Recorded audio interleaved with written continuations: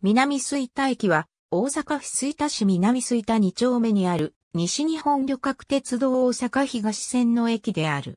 駅番号は JRF03。なお、当駅は大阪市外に所在するものの運賃計算の特例として特定特市内における大阪市内の駅となった。当駅前後の軌道は上等貨物線の転用でなく新大阪駅へ接続するため新設した。事務官コードは61万2101を使用している。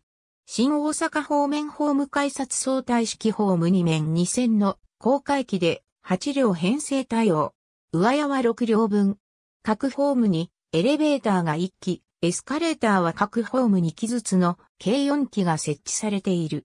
新大阪駅が管理する JR 西日本交通サービスによる業務委託駅であり、一部時間帯は無人となる。そのため改札機、券売機、生産機付近にはインターホンがあり、無人時間帯はコールセンターのオペレーターが対応し、各種機器を遠隔制御している。駅のデザインコンセプトは神崎川と水路の風景としている。